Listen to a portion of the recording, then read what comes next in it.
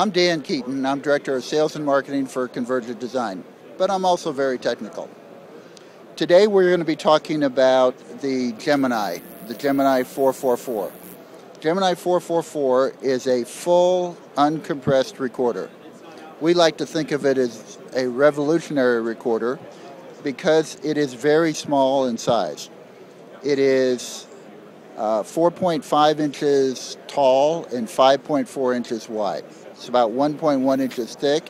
It weighs uh, about one pound. It's 1.05 pounds.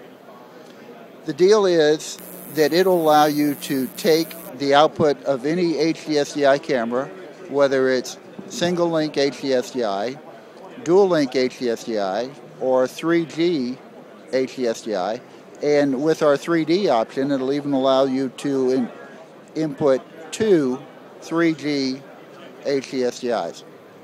It has a world-class monitor. This monitor is utterly unique, at least in this uh, form size, in that the angle of the image is not important. There's no problem with the viewing angle. If you move it around, you can see it from every direction. There's no sweet spot in the middle, and which is most important when shooting. You don't have to constantly bob your head trying to find the, the real color. The colors, the colors do not change. This is an ultra premium monitor, and that's included, and it's built in as part of our Gemini 444. What is the native resolution of the monitor? The native resolution is 800 by 480, and it's a 5.0 inch monitor. Uh, we pride ourselves on building very low power, very small size, very high technology devices. This draws 8 to 15 watts. It's a, an exceedingly bright monitor. It will work uh, in bright sunlight, and in fact, if you take your bright light and shine it on here, you may be able to still see uh, the image. The power consumption of our device is 8 to 15 watts. Typically, it'll be 12, 12 watts while recording, but if you turn the brightness of the, of the monitor backlight all the way up, that'll draw 2.5 watts in itself. But that allows you the option of going out into the sun. This is a perfect uh, recorder uh, for any Steadicam operator. You can take uh, a Sony F35 and then use this and not have to shade the screen so you can see the framing uh, even out in the sun. We will build, be building a sun hood, uh, but we won't. We do not know whether it's going to be necessary or not. Powering is a via a four-pin Hirose. We provide numerous cables. Uh, the cables that uh, work with the Nano Flash work with this. Uh, it comes with a uh, four pin XLR for professional power to our four pin Hirose. And the voltage input is somewhere around 5 to 19.5 volts. If you're using a Sony F3, uh, there's a battery that'll plug in the back and has a little connector that will uh, plug into both the Nano Flash and to the F3. Now, because the camera draws 24 watts and we draw typically 12 watts, so we're totaling about 36 watts, you know, you don't get hours of record time on this little battery that plugs into the back. If you use an Anton Bauer or IDX or other professional battery solution, you just use a DTAP cable, DTAP or PTAP. So any battery chemistry, and we'll also have an optional uh, accessory which will allow you to use 24 or 28 volt power. It is a world class recorder. We're talking about full uncompressed. There is no other, no there's no other recorder that records at a higher quality. There are other recorders that record at the same quality, but nothing eh, by any manufacturer records at higher quality. This is a full uncompressed recorder uh, we will put the internal files in a QuickTime wrapper, and if one, one wants DPX files, we will be able to create those. It's uncompressed 10-bit 422, it's uncompressed 10-bit 444, It's not a codec.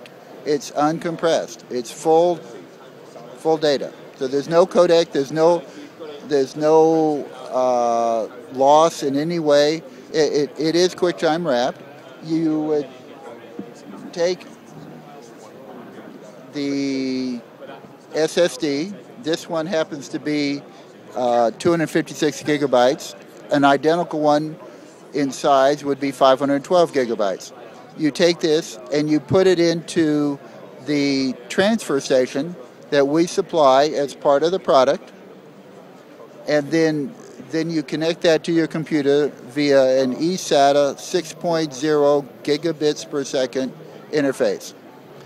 Transferring footage, 30 minutes of footage here, will transfer into uh, a reasonable computer with a reasonable disk subsystem in 10 minutes. Also, if you want a compressed workflow, you can take the footage and then use Apple Compressor or Adobe Media Encoder or other software, and then 30 minutes of footage will take 15 minutes to encode to whatever codec that you wish.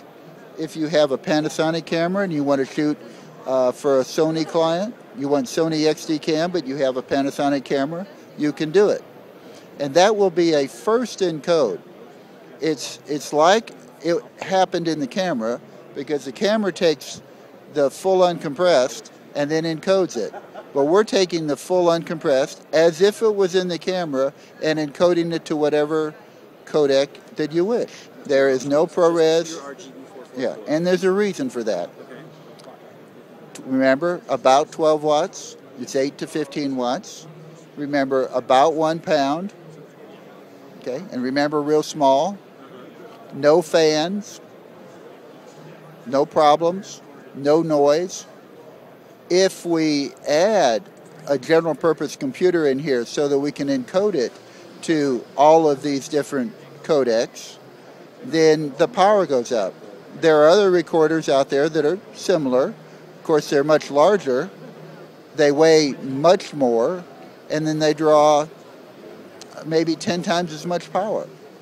So, you take it to your you're using our transfer station, and then you use uh, Apple Compressor or Adobe Media Encoder. Um, not only not only do we support Sony viewing LUTs, we support any viewing LUTs that you wish. Uh, later on, these will be user customizable and user loadable and user selectable. Uh, you have the option let's say that you're recording from an F3 ca- camera or an F35 or other professional camera that has Sony S-Log, you can record to one SSD, and that could be native S-Log. You record to another one, and we'll take the native S-Log but burn a LUT into it and record, record it with a burned-in LUT to make it easy for post So you could do two simultaneous records? Yes, and they can both be full uncompressed with native S log or uh, with no S log at all, or they could have burned in LUTs. And the same thing, same flexibility is available on the outputs. There are two outputs here single link, dual link, or two 3G outputs for each and every output, you have a choice. What do I want to send out? Do I want to send out uh, 422? Do I want to send out 444? Of course, you know, so, some cases are going to require dual link. But also, you get a choice of whether uh, you want a viewing LUT. And if you want a viewing LUT applied, fine. One very practical application is if you're on a professional shoot and you're using Sony S Log or Log C or other logs, uh, you may want to send to one monitor the the native log footage so you can examine that very carefully. But for the client monitor, you send a viewing the same signal with a viewing LUT applied so that you can look to see what you want to see, but then you can see uh, show the client with the normal viewing LUT applied so you don't have to answer all the questions. Why does it look so bad? The uh, the typical way to get a, a viewing LUT on here would be to load it in because this transfer station is a two-way transfer station. You just load it into the card and then load it into here. An hour of footage, DPX footage, is a tremendous number of individual files. Instead of recording the, the video as individual files, we're recording the, that would be individual files per frame. We're recording it as a complete file here, and then we'll take the SSD load it into the transfer station, and then use a utility that we provide, which will take frame by frame the footage, and then create the individual files on your computer. That way, we're not bound by a few hundred thousand files on our system, which would slow us down. But you get the few hundred thousand files on your computer. It takes every flavor 720p 23.976, 720p 24, 25, 29.97, 30, 50, 59.94, and true 60. For 1080, it's the same. Now it goes 1080p 29.97, 1080p 24, 1080p 25, 1080p 50, 1080p 59.94, and 1080p 60. And of course, we also do 1080i uh, 50, 1080i 59.94, and 1080i 60. We definitely plan on supporting ARRI RAW, but that requires cooperation between our company and ARRI. We fully expect to do that. Uh, we, we have a mode uh, right now that will allow us to record uh, exactly what comes into this unit, and then this is a different mode than normal, but in this let's call it an in and out mode. Whatever comes in, we record, including stuff like closed captioning and every other bit of information that comes in. And then you can play back that information and it'll come out 100% faithful to what came in. So if you want to use uh, any format whatsoever that's a legal format for us to receive, then we can record that anywhere in the field, and then we can play it back into your edit suite, and you'll have exactly as if your camera was in the in the edit suite. If it comes over the HDSDI, it is our goal to process that metadata properly.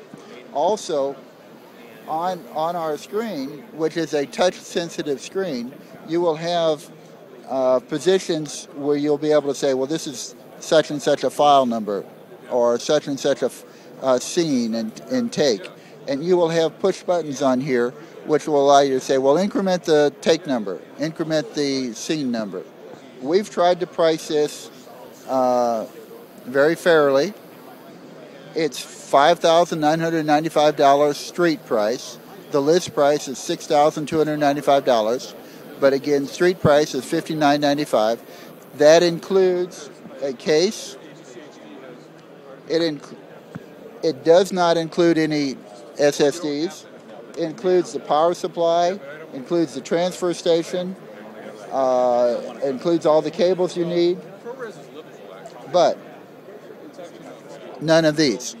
And the reason we don't include these is because some people will want one or two, others will want more, and some will want the 256 gigabyte variety, others will want the 512 gigabyte variety. The price of this is 250 this 256 gigabyte SSD, very high performance. It's $749. The 512 version is $1,349. The 3D option, uh, which allows you to to do 3D very effectively. Also, it allows you to record two independent cameras, provided all of these cameras are Genlock. So if you have two Genlock cameras and you want to record them with this, with our 3D option, it's 1995.